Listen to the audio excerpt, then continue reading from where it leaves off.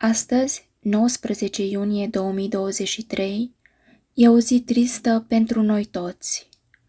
Cel care a fost fratele Ovidiu Liteanu a plecat în veșnicie, un slujitor al Domnului care prin cântările frumoase și vorbele lui pline de har a ajutat mulți oameni să se întoarcă la Dumnezeu.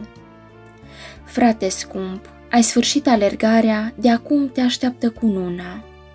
Dumnezeu e suveran peste toate, iar noi ne supunem voinței Lui. Dumnezeu să o mângâie pe sora Viorica și pe toți cei îndurerați.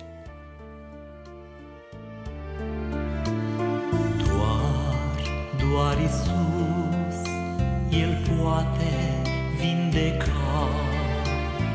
Doar, doar Isus, El poate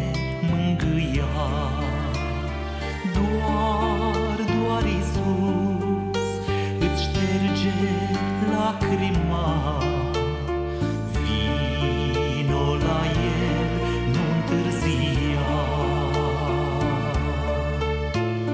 Doar, doar Isus îți șterge lacrima.